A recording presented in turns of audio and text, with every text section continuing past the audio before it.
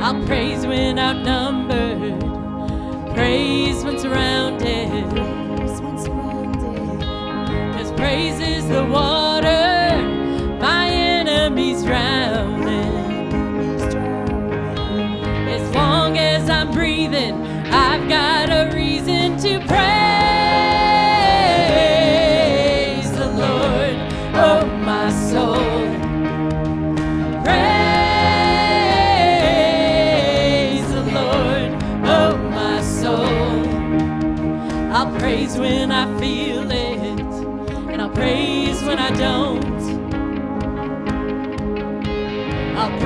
cause I know you're still in control. Cause my praise is a weapon, it's more than a sound. My praise is the shout that brings Jericho down. As long as I'm breathing, I've got a reason to praise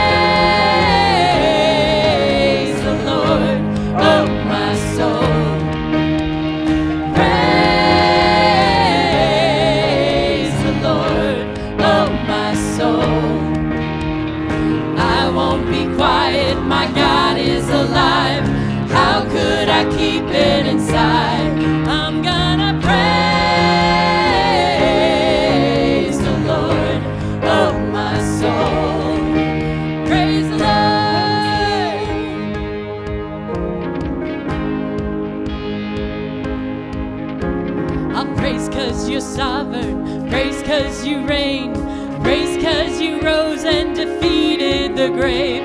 I'll praise cause you're faithful, praise cause you're true, praise cause there's nobody greater than you. I'll praise Praise 'cause you're sovereign. cause you Praise 'cause you reign and you you rose rose and defeated the grave. I'll praise cause you're faithful, praise cause you're true, praise cause there's nobody greater than you.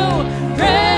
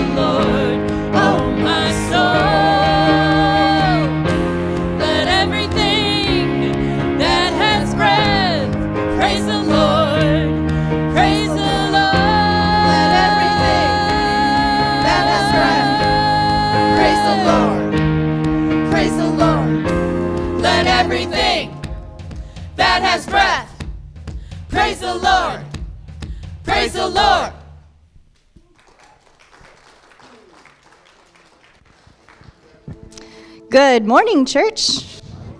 All right, you all may be seated. Um, I've seen a lot of new faces over the last few weeks, so I just wanted to mention our Church Center app.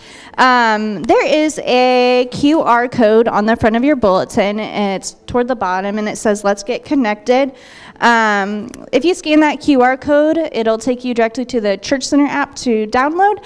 Uh, that, it, that app is one way that we can communicate all the events that are coming um, that are coming up. So if you haven't done so yet, uh, make sure to scan that QR code so you can get connected with us. Um, I do have a few announcements for this week. Uh, the first one is that Love Out Loud is hosting a winter coat drive from now all through February. Um, so if you'd like to donate, uh, we ask that you bring in a new or used coat in good condition. Uh, you can drop it off at the front doorway. Um, as you walked in uh, to your left, there are some coats on the rack. You can just put it over there.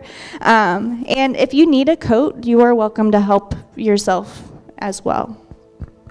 Then on November 15th, we have Food on the Move. It happens every third Friday of the month from 9 a.m. to 11 a.m. So if you or someone you know uh, needs some food assistance, uh, you're welcome to join us then. And then in the back of the room, we have a cardboard box over by Love Out Loud.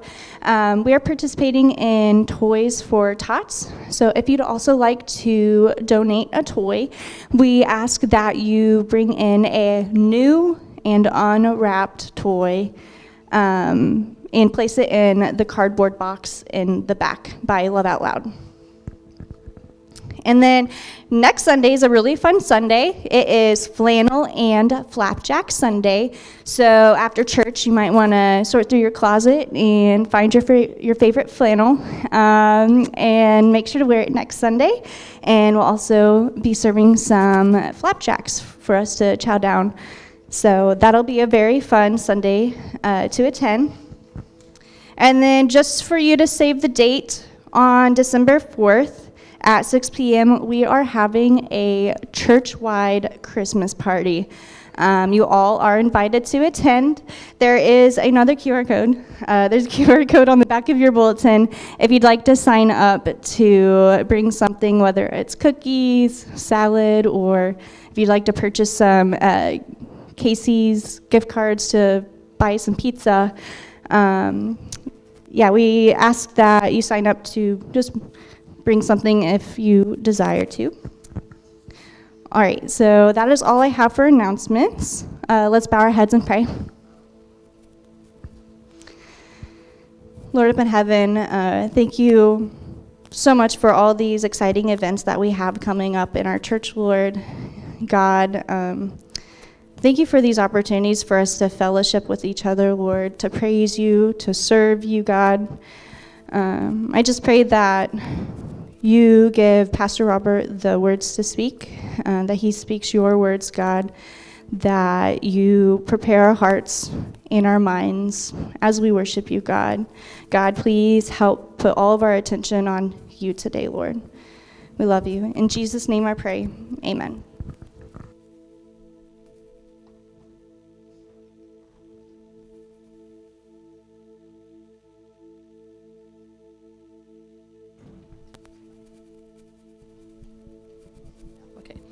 I wanted to share with you all something. Uh, about a week and a half ago, as I was trying to finalize the songs for this Sunday, there was one song that I just could not, nothing was was fitting. And it's this next song we're going to sing. So I just said, God, you're going to have to help me here. I'm struggling. What song do you want? So I opened my phone and started looking through all our songs that we sing. And I stopped on House of the Lord and you know there's joy in the house of the lord. And i thought ooh well it's the sunday after the election and some people no matter what there's going to be people who are not happy there's going to be people happy maybe people who are both happy and sad. But you know what? Our joy is not dependent on any circumstance. Our joy is not dependent on what happens in the flesh our joy is not dependent on who is president or who isn't president. Our joy is not dependent on an amendment that passed or didn't pass. Our joy comes from the Lord, and He is where the joy is. So this morning, we're going to fill this room with praise and worship.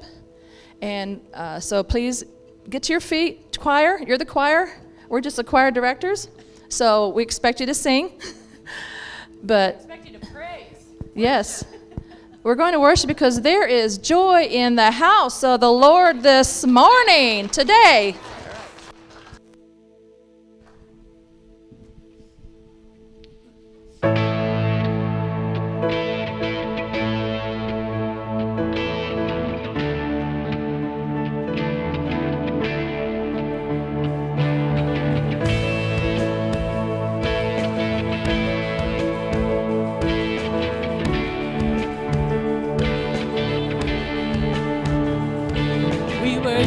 God who was.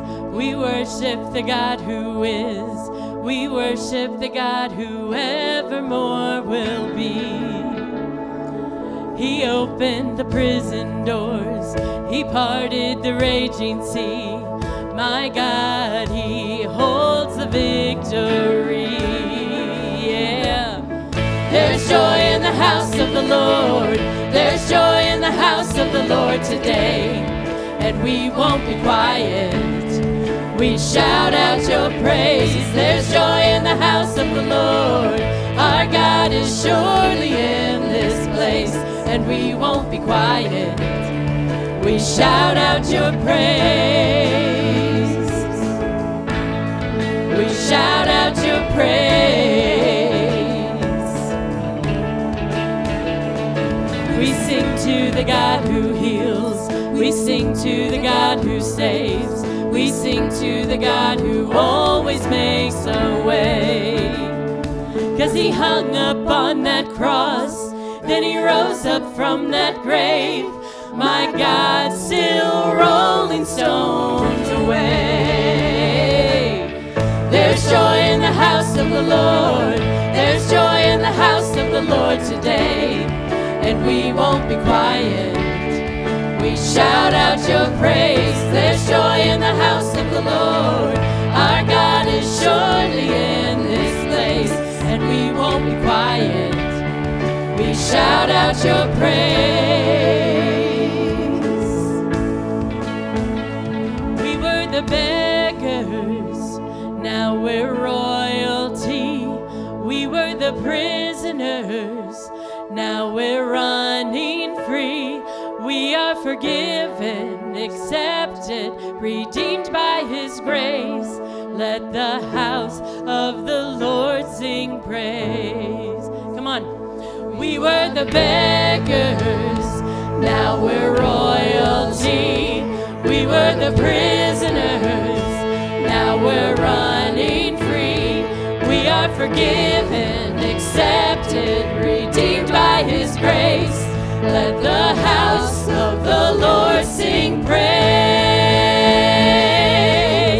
There's joy in the house of the Lord. There's joy in the house of the Lord today.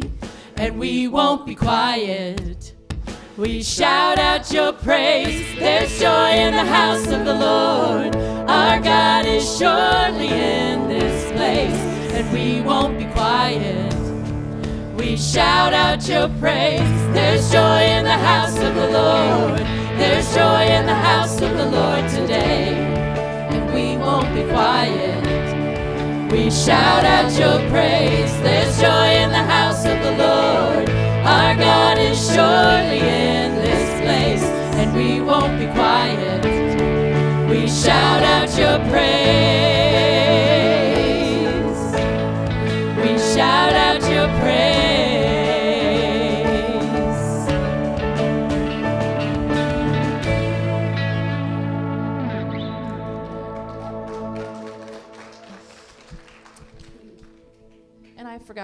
Very important detail in that story.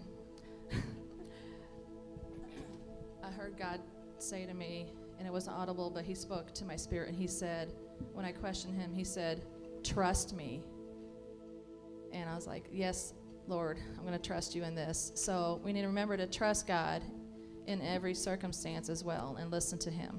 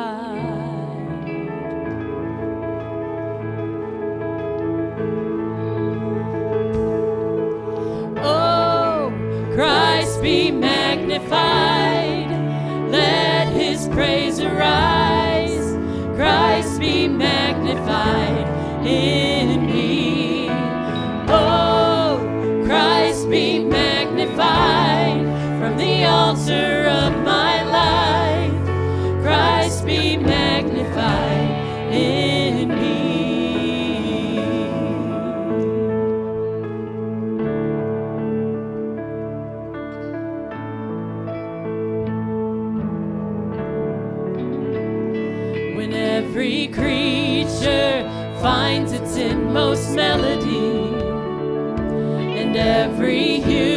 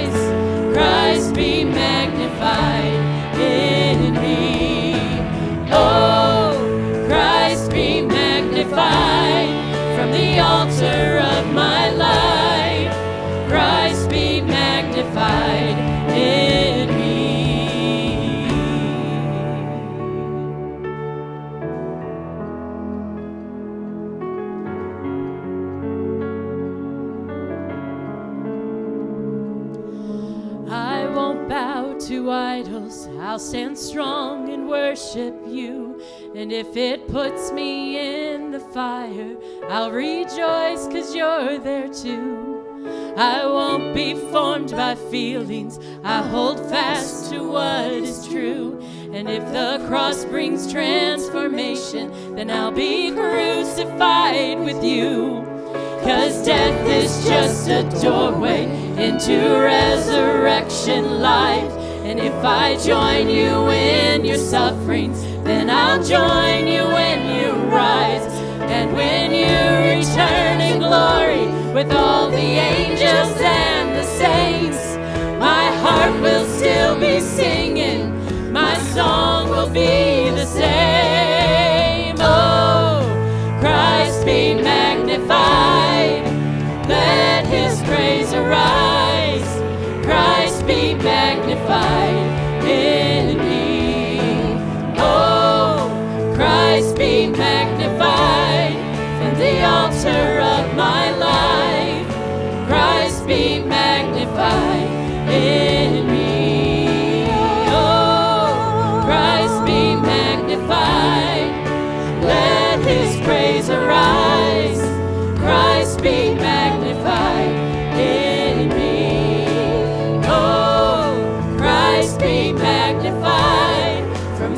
Altar of my life. Christ be magnified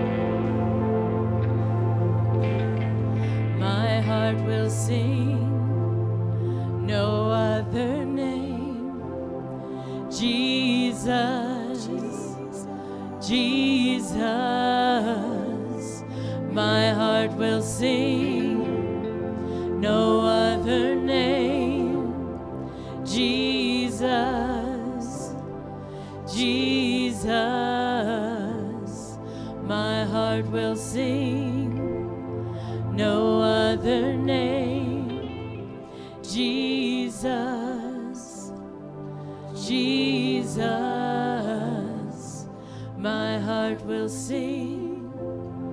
No other name. Jesus. Jesus.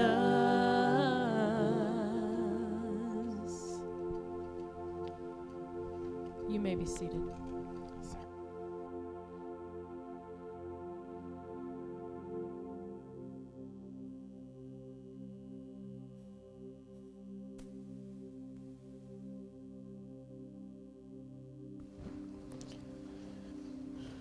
Why is it that sometimes the innocent, the most innocent among us, their lives are snuffed out early, while the wicked just seem to live on and on?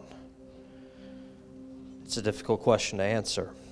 I'm going to do my best to try to do so this morning. As I take you through a whirlwind tour of 2 Samuel, some of the events that take place in there. We're going to start in chapter 12 starting halfway through verse 15. To give you some background information, this is after David's adulterous affair with Bathsheba, the wife of Uriah. Uriah was a great warrior, and David had an affair with his wife. Bathsheba got pregnant, and he tried to cover it up. Uriah was home on holiday. He tried to set it up so they would spend a night together, so you know, the timing wouldn't quite match up, but still he could conceal it. But Uriah, Uriah had other plans. He refused to go home while his men were not allowed the same luxury. And so David concocted a scheme. He put Uriah on the front line, the most dangerous part of the battlefield, and ordered his generals to fall back, abandoning Uriah to the most valiant of enemy men. And sure enough, Uriah fell there. He died. The prophet Nathan confronted David about this. He told him of the bad things that would be happening to him and his house. And let me start here down in verse 15, halfway through. And the Lord afflicted the child that Uriah's wife bore to David, and he became sick. David therefore sought God on behalf of the child. And David fasted and went in and lay all night on the ground, and the elders of his house stood beside him to raise him from the ground, but he would not, nor did he eat food with them. On the seventh day the child died. And the servants of David were afraid to tell him that the child was dead, for they said, Behold, while the child was yet alive, we spoke to him, and he did not listen to us. How then can we say to him, The child is dead, he may do himself some harm? But when David saw that his servants were whispering together, David understood that the child was dead. And David said to his servants, Is the child dead? They said, He is dead. Then David arose from the earth and washed and anointed himself and changed his clothes. And he went into the house of the Lord and worshipped. He then went to his own house, and when he asked, they set food before him, and he ate. Then his servants said to him, What is this thing that you have done? You fasted and wept for the child while he was alive, but when the child died, you arose and ate food. He said, While the child was alive, I fasted and wept, for I said, Who knows whether the Lord will be gracious to me, that the child may live? But now he is dead. Why should I fast? Can I bring him back again? I shall go to him, but he will not return to me. David had peace in the even in the midst of this disaster. His child was with him no more. But he knows where the child is going, and he knows where he's going.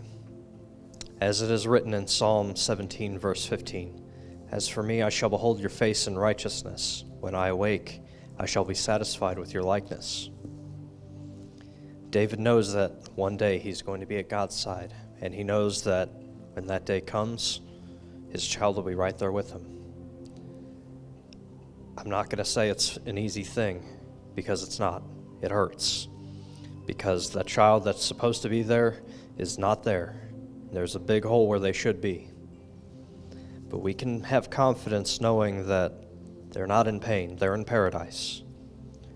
And when that eternity comes and we go to God's side, we can have confidence that that child will be right there with us. To further illustrate this point, we're going to shift over to another of David's children, Absalom. Part of the disaster that was decreed was that someone was going to lay with David's wives in the sight of the sun. And that someone would be his very flesh and blood, his son Absalom, who rebelled. He gathered up an army, and David was forced to flee. He was David's bitter enemy, and yet David instructed his men to go easy on Absalom for his sake. But that's not how it worked out. In the end, Absalom would be riding through a forest. He would get caught up in a tree, and David's men would strike him down. And here's what David's reaction is when he hears the news. This is verse 8, this is chapter 18 verse 33 of 2 Samuel. And the king was deeply moved and went up to the chamber over the gate and wept. And as he went, he said, Oh, my son Absalom, my son, my son Absalom, would I had died instead of you, O Absalom, my son, my son. Absalom died an enemy of God, an enemy that, despite everything, David wept over him. When we die, our choice is locked in, as it were if we don't know who Jesus is, if Jesus isn't our Lord and Savior, there's no chance for redemption anymore. Only eternal separation from God. And so, if you can wonder why the innocents fall early while the wicked live on, God's being patient with them. He wants them to turn back. It's not in God's will that anyone should perish, but all should come to eternal life. Nevertheless, there will be those that refuse God's mercy. And that is a very sad thing indeed.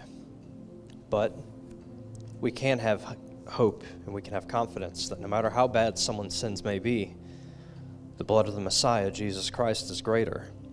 No matter how far from God they may seem, we know that God really isn't that far. He is just waiting for them to turn back. They might have eternal life as well.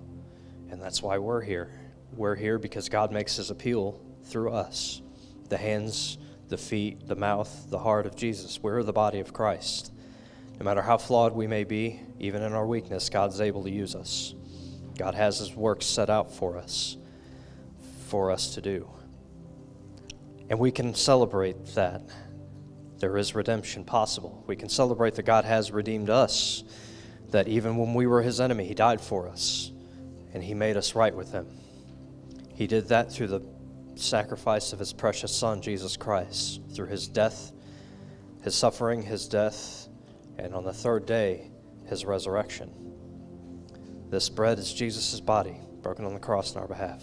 If you have it ready, take it with me.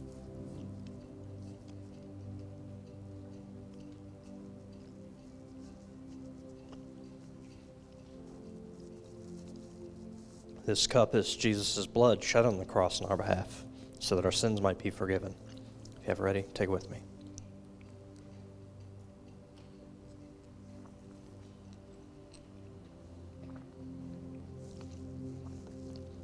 Now let us pray. Dear Heavenly Father, we know that you're in control. We know that you're going to work things for our good. And we also know that you have work for us to do. Use us to make your appeal, Lord, to the Absaloms of the world, so that they might come back to you and they may not be lost forever. Move your Holy Spirit in our midst, O Lord. Give us the words to say. Give us the patience to deal with the people who can be very difficult. And give us the confidence to know that you're always with us, even in the midst of the loudest storm, even in the deepest valley. Help us to remember that you're there always, and we won't ever be apart from you ever again. In Jesus' name we pray and ask. Amen.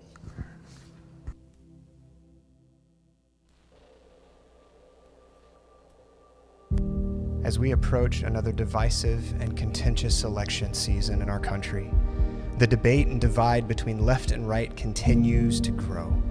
Battle lines are clearly drawn. The us versus them mentality is at an all time high. For followers of Jesus, how are we to engage in the politics of our earthly kingdom without abandoning our purpose in God's kingdom? How can we be proud of our country without putting our faith in it and its systems? How can we be patriotic without being partisan? Can we? Jesus and the writers of the scriptures seem to think so. But in order for us to do these things, we must get beyond left and right and start living a better way. We must start living with a kingdom agenda.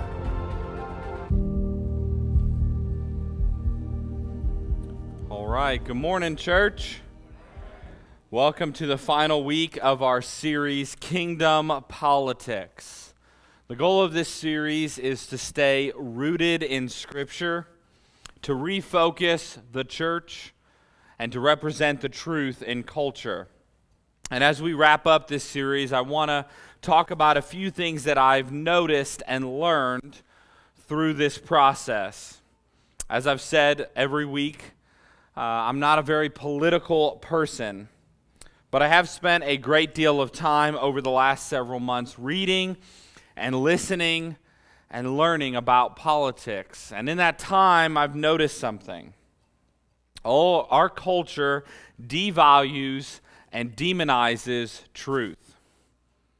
I can't tell you the number of people that I've listened to and interacted with who simply believe something that someone told them without ever doing the work to verify if it was true. In Acts 17, verse 10 and 11 teaches us an important lesson about this. It says, The brothers immediately sent Paul and Silas away by night to Berea. And when they arrived, they went into the Jewish synagogue. Now, these Jews were more noble than all of those in Thessalonica. And they received the word with all eagerness, examining the scriptures daily to see if these things were so. Now, obviously, these verses apply specifically to the instruction and the study of Scripture, but I think they can also teach us a broader lesson about being people of truth. As born again believers, we should be people who are known as people who speak the truth and believe the truth. It's actually one of the core values we have as a church, standing in truth. We're going to live our lives, lead our families, and guide our church under the direction of God's Word. In everything we do, we seek to follow God's way. And the Bible is our supreme, infallible source of truth for Christian beliefs and living. We will stay biblically focused but culturally relevant as a church because we are people of the Word and for the Word. Our culture, unfortunately, does not value truth. We live in a culture that thinks truth is subjective. I have a truth and you have a truth. There is no common standard of truth in our culture today. And that is a lie. There is one standard of truth, which is the Word of God. Far too often, we elevate our feelings and our opinions to the level of truth, which distracts us and those around us who we interact with from our primary message. Jesus knew this was going to be a problem for us, which is why he prayed specifically about this in John 17. So if you have your Bible, go ahead and open there. We're going to cover much of this passage today. I'm not going to read all of it, but I will read a, a, quite a large amount of this text. It says this beginning in verse 1 When Jesus had spoken these words, he lifted up his eyes to heaven and said, Father, the hour has come. Glorify your Son, that the Son may glorify you.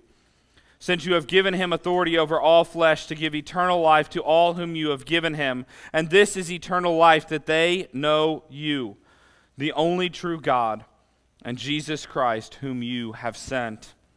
I glorify you on earth, having accomplished the work that you have given to me. And now, Father, glorify me in your own presence with the glory that I had with you before the world existed. This first part of the prayer, Jesus is focusing on God's glory. Jesus glorified God on earth, and now Jesus is asking to be restored to his former glory in heaven. And then he shifts his focus, focusing specifically on his disciples, which includes you and I if you are a born again believer because Jesus knows that salvation of the world depends on the witness of those whom the Father has given him out of the world. And we all need his intercession in order to do what he has called us to do. Jesus continues praying I have manifested your name to the people whom you gave me out of the world. Yours they were, and you gave them to me, and they have kept your word. Now they know that everything that you have given me is from you, for I have given them the words that you have given me, and they have received them and have come to know in truth that I came from you, and they have believed that you have sent me. I am praying for them. I'm not praying for the world, but for those that you have given me, for they are yours, and all mine are yours, and all yours are mine, and I am glorified in them. And I am no longer in the world, but they are in the world, and I am coming to you. Holy Father, keep them in your name, which you have given me, that they may be one, even as we are one. And while I was with them, I kept them in your name, which you have given to me. I have guarded them, and not one of them has been lost except for the son of destruction, that Scripture might be fulfilled. But now I am coming to you, and these things that I speak into the world, that they may have my joy fulfilled in themselves. I have given them your word, and the world has hated them because they are not of the world, just as I am not of the world. I do not ask that, they take, that you take them out of the world, but that you keep them from the evil one. For they are not of the world, just as I am not of the world. Let me ask you this question How much does the world hate you? That might seem like an odd question, but Jesus says, because of the word that he has given to us, that we have written today in our Bible, because of this, the world will hate us. But I've seen a lot in this election season is born again believers who hate the ones, the very people that we are called to love. Before the actual election, I saw a lot of hate from those who oppose God's word, a lot of hate from the idea of prayer, a lot of hate towards those who want to protect the lives of unborn babies. But after the election, after the election, I saw quite a lot of hate from believers who sought to brag and boast about their party or even personal victory. This election cycle has shown me that as we, as born again believers, need to stop and think about the lives that we have believed on the left and on the right. We need to actually open up our Bible and read it for ourselves. Listen to what Jesus prayed Sanctify them in the truth. CNN and Fox News is the truth. That's not what it says. Hang on. It says, Sanctify them in the truth. Your word is truth. As you have sent me into the world, so I have sent them into the world, and for their sake I consecrate myself, that they may be sanctified in the truth. And I do not ask for these only, but also those who believe in the platform of the Republican Party. That's not it either. Hang on. I do not ask for these only, but also for those who believe in me, Jesus Christ through their word, that they may be one just as you, Father, are in me and I in you, that they may also be in us, so the world may believe that the Democratic Party is the solution to the world's problems. Still not right. Hang on. That the world may believe that you have sent me. That the glory you have given me, I have given to them, that they may be one, even as we are one. I and them, and you and me, that they may become perfectly one, so that the world may know that you sent me and love them, even as you loved me. Now, you might laugh and think that's funny, but the truth is, many of you in this room, many of you who are watching online, have said as much. You've been the Pied Piper for your party and you've hurt the witness of Christ as a result. The election is over, and like it or not, we are stuck with the results. Maybe it's time we actually reflect on what is really important. Maybe we take some time to assess our priorities and see what our focus should be on because we have got a lot of work to do. Win or lose, we are all called as born again believers to be kingdom citizens who are called to do kingdom work. We've got a lot to do on this side of the election if we are going to actually live out the kingdom principles and values that we just voted for. So let's look at those five kingdom principles we've been talking about the last several weeks religious liberty, border security, biological sex, family, and life.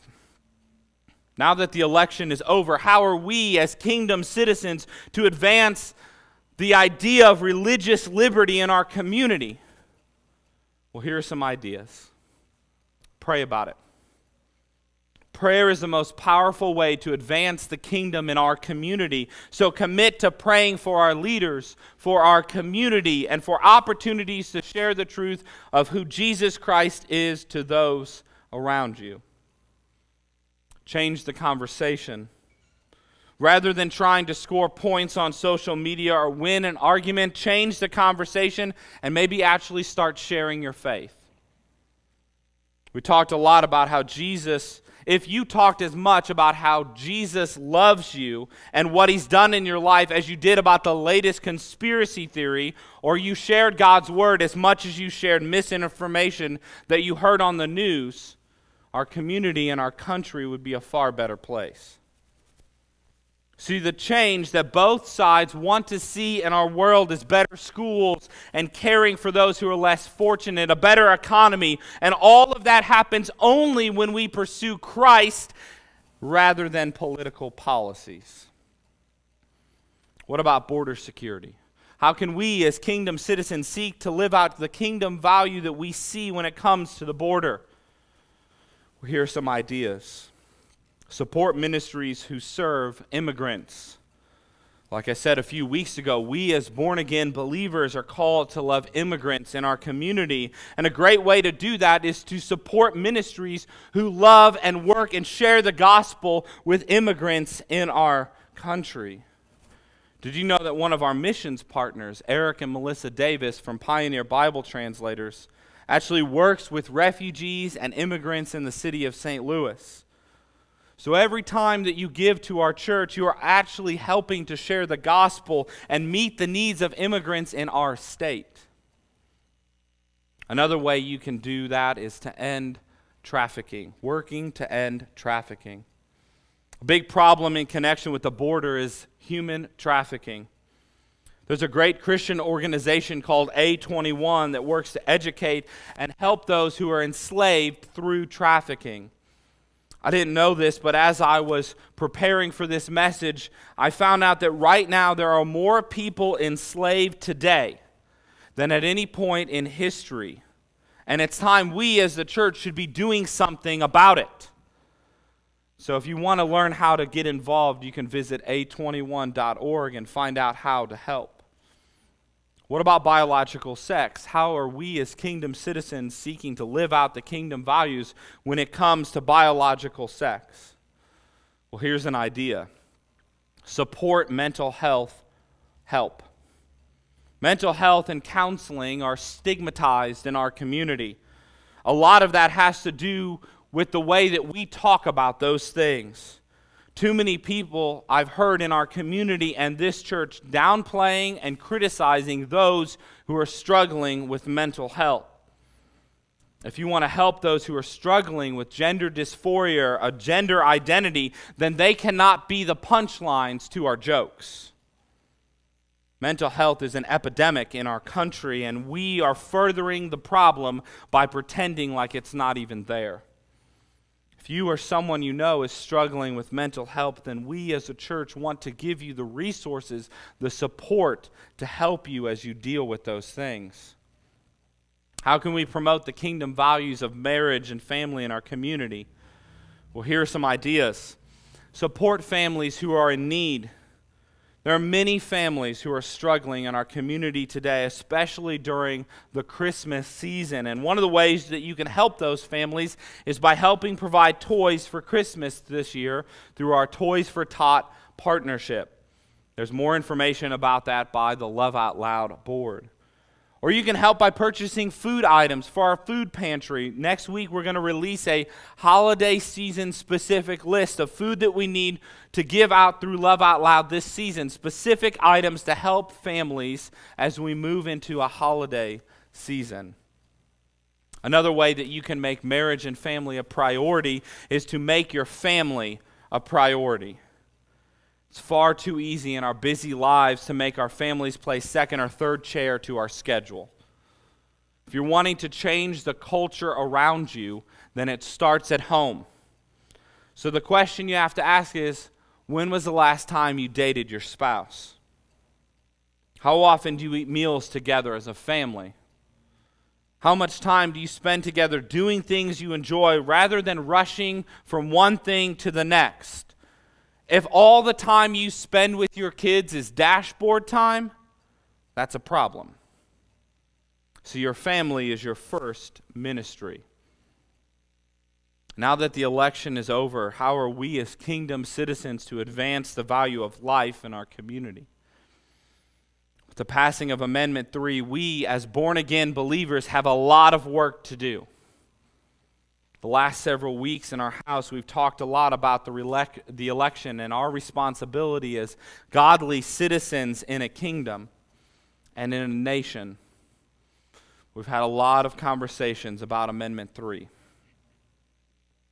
And unlike many of the people I've talked to about it, we've actually done the research. We've talked to lawyers and lawmakers and doctors about what this amendment would mean if it were to pass. And in our conversations one day, Tyler said this abortion law reminded him of a story in the Bible. Praise God for our family ministry for teaching my kids this story. Let me read it to you.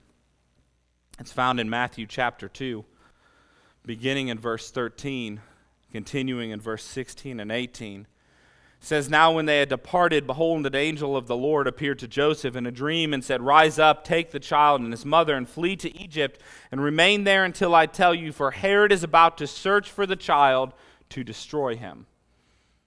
Then Herod, when he had saw that he had been tricked by the wise men, became furious, and he sent and killed all of the male children in Bethlehem and all the region who were two years old or younger, according to the time that he had discerned from the wise men. This was fulfilled what is spoken by the prophet Jeremiah. A voice was heard in Ramah, weeping and loud lamentation. Rachel is weeping for her children, and she refuses to be comforted, for they are no more. And you know he's right. Weeping and loud lamentation is heard throughout our state because of the lies and manipulation of evil, demonic leaders who want to murder children. The passing of Amendment 3 is an abomination on our state. And when we had the conversation with our kids about Amendment 3 passing and what that meant, my son Kai said, Will they put babies in baskets and float them down the Missouri River? Because Pharaoh wanted to hurt babies too, and that's what Moses' mom did.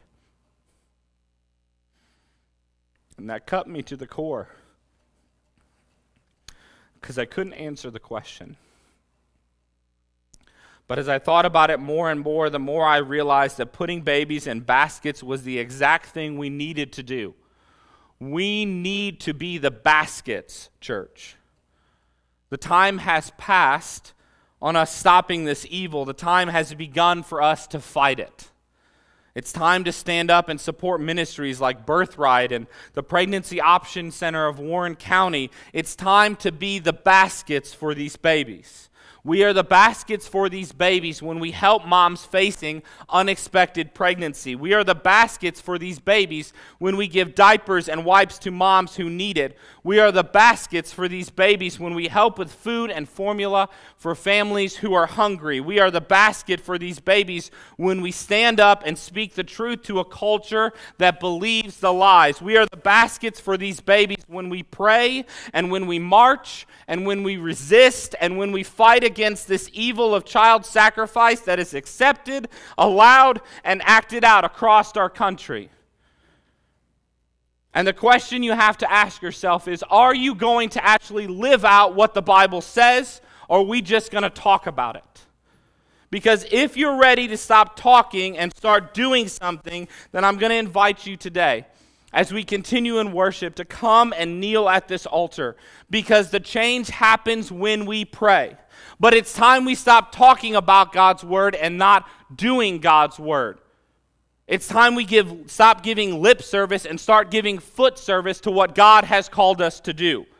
If we're going to actually promote religious liberty in our community, then it's time we actually stand up and start speaking the truth to our community. It's time we actually start sharing our faith with those around us that we know are dying and going to hell. If we say we care so much about the border, it's time we start loving people who are in our country who look different than us, who act different than us, who speak different than us, who believe different than us if we actually say we care about biological sex and we want to fight against this transgender ideology, then it's time we actually start living out what God's word says about it. If we care so much about biblical marriage and the family, it's time our families stop being treated like hell.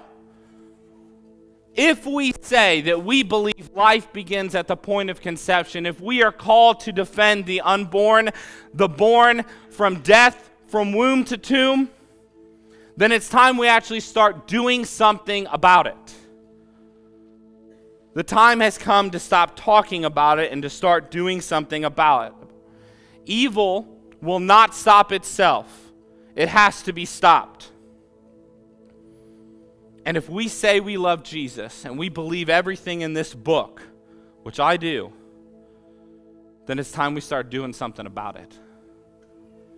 Because I'll tell you, this election it's not the hope our country needs.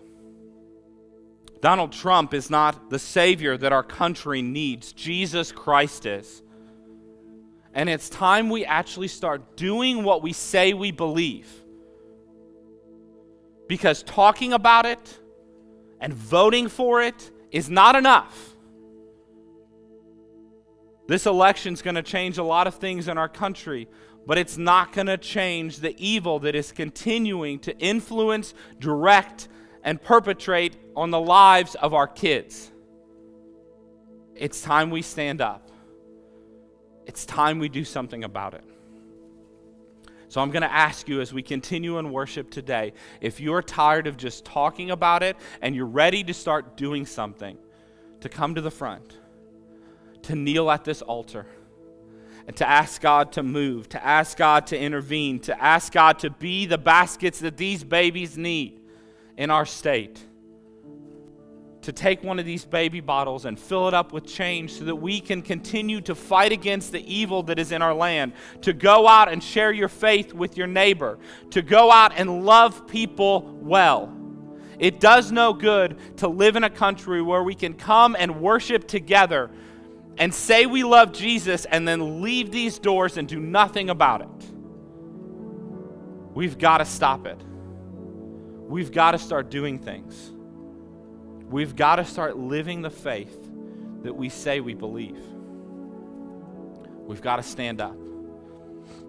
This will not stop with our state. It will continue to move throughout our communities, throughout our schools throughout our states and throughout our nation. If godly, born again believers do not stand up and do something about it, it's personal to me. When I have to look at my son, who's asking if he could have been one, one of those babies. He could have been. And there's going to be many more if we don't step up and do what God is calling us to do. We've got to be people of the Word, but not just people who read the Word, not just people who speak the Word, people who live the Word. That's what I'm asking you, church. I'm asking you to step up and live what you say you believe. God, I'm grateful for this country. And it's broken and flawed.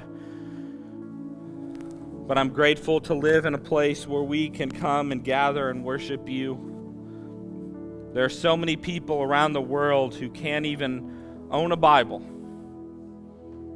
without being persecuted and killed.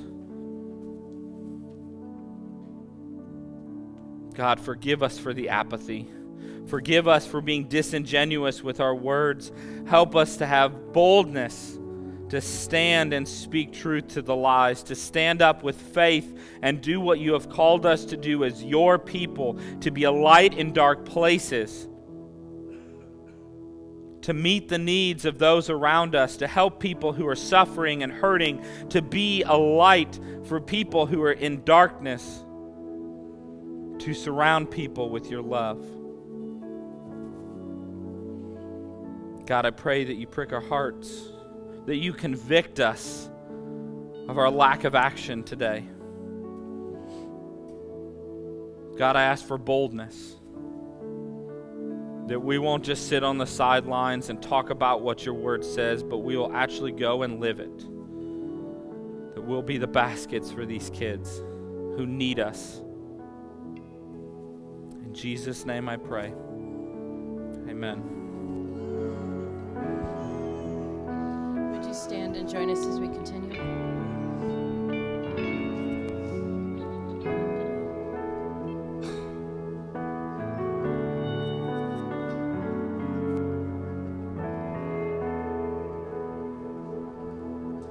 The reign of darkness now has ended in the kingdom of light,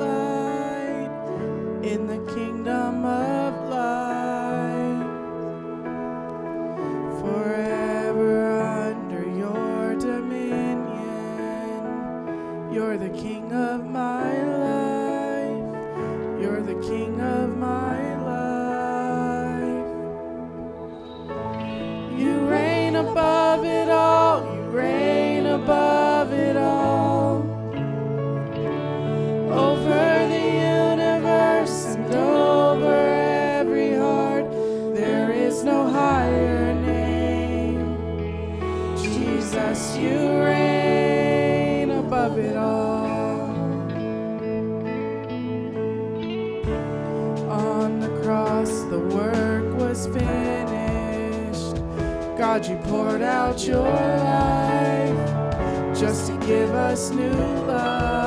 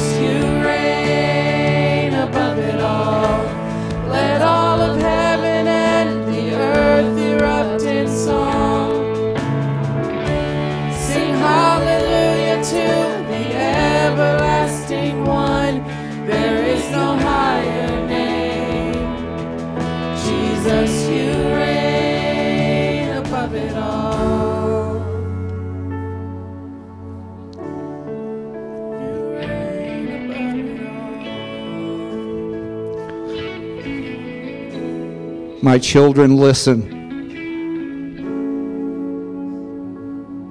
For your hope must be in me and not in man. For I am not a Republican or a Democrat or a Libertarian. For I am God of the universe.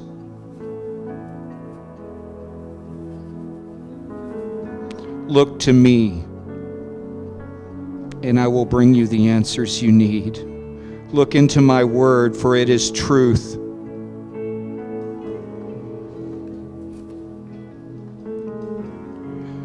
For I shared my love with you when I created you.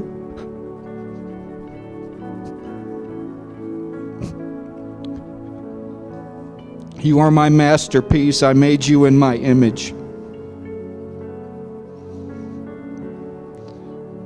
Showed you my love when I sent my son.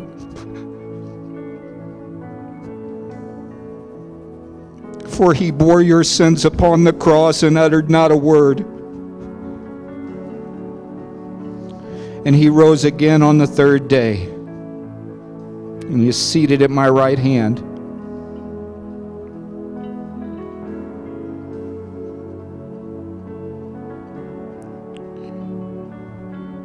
Seek me and you will find me. Knock and it will be open. For you are my vessels. Before the foundation of the world, I have set you apart to do good works. But I will not force you.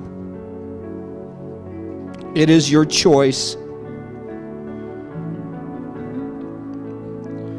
Look to me, and I will make straight your paths.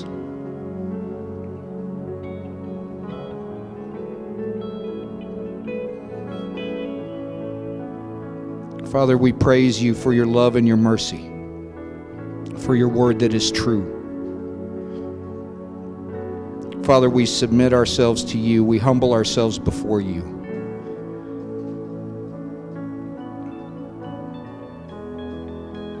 Father, we ask for you to move in our lives, Father, as we surrender our own will to your own.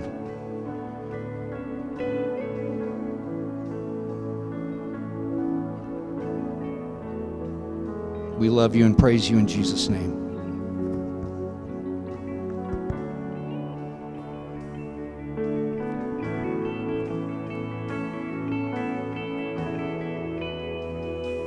You sent the darkness running out of an empty grave. Now seated alone in glory, enthroned on the highest praise. You sent the darkness running out of an empty grave. Now seated alone in glory, enthroned on the highest praise. You sent the darkness running out of an empty seated alone in glory, enthroned on the highest praise. You sent the darkness running out of an empty grave. Now seated alone in glory, enthroned on the highest praise. You sent the darkness running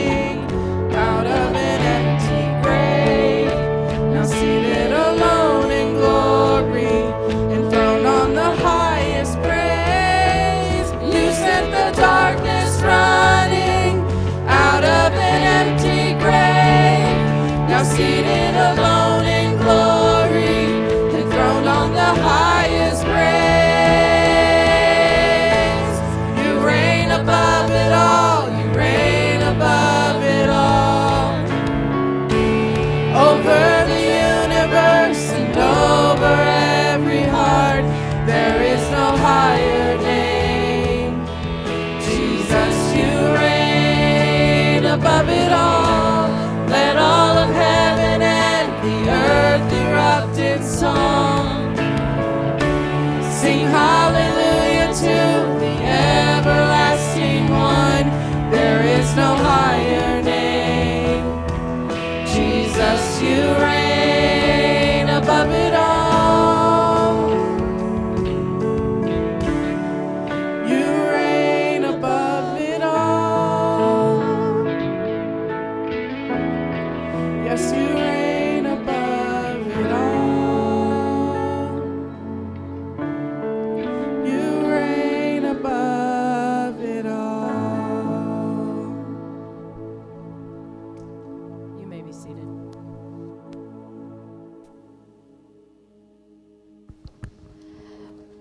when you give to our church each week, you give to kingdom work. Whether that's what happens here in this building, what happens through our food pantry, through Love Out Loud, or globally around the world through our missions partners, you give to these kingdom principles. And that matters. And so, as the blue buckets come around, if you've already given this week, thank you for your offering. You can give in the buckets. You can give through the Church Center app. You can give online at highhillchristianchurch.org forward slash give. And you can give by mailing a check to 852 Boonslick Road, High Hill, Missouri 63350. The really cool thing about God, there's lots of them, but one of my favorite things about God is when you have no idea that He's been working until you see it, and then that light bulb goes off. God is in this place. And if you don't know this, um, Robert is really intentional with planning out our um, series calendar. And as he's praying and, and figuring out what God is wanting our church to hear, it's set in advance. But sometimes God shows up and he and he changes it. And so this series was supposed to be a, a five week series, and it ended up being a four week series.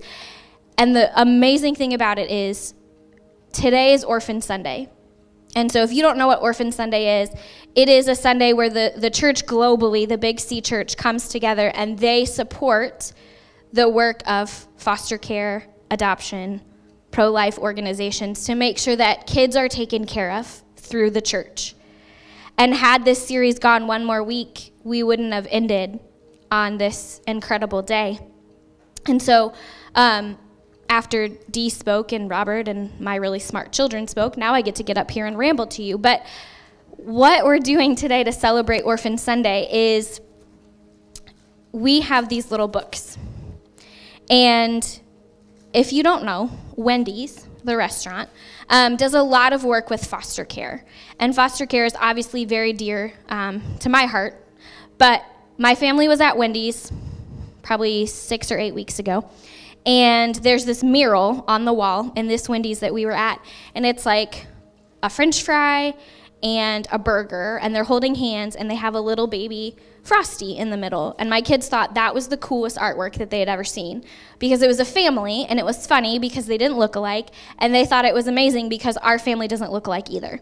And so they thought it was funny that a burger and a fry would have a baby milkshake. And I mean, that is funny, right? But it makes a whole complete family.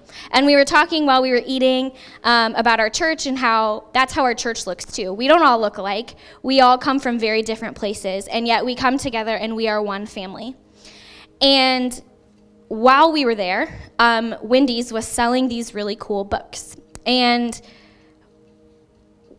it's so funny because they are books that give you free Frosties, which is what the little baby on the picture was. Um, but if you bought these for a dollar, everything that Wendy's made off of these books goes to help kids in foster care and adoption.